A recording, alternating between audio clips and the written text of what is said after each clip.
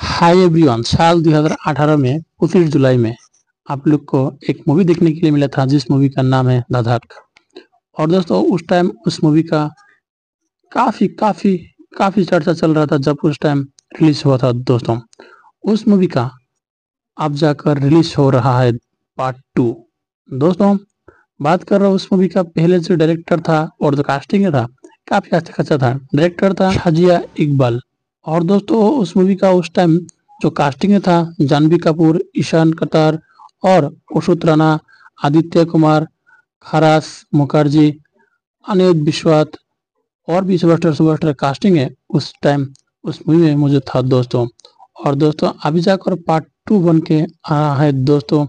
और दोस्तों, इस बार जो पार्ट टू बन के आ रहा है, इस मूवी का डायरेक्टर दूसरा होने वाला है, लेकिन अब तक पता नहीं चला कौन सा डायरेक्शन का डायरेक्शन में बनाया जाएगा। दोस्तों, बहुत ही जल्द इसके बारे में अपडेट मिल जाएगा। डाका टू का कौन कौन कास्टिंग होने वाला है, अभी तक छोटा मोटा एक अपडेट मिला है।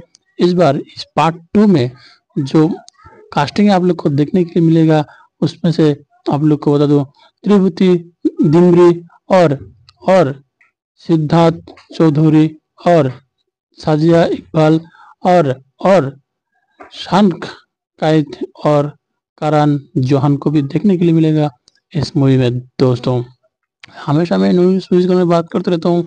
वीडियो पसंद आए तो लाइक कीजिएगा, चैनल को सब्सक्राइब नहीं तो कर लीजिएगा।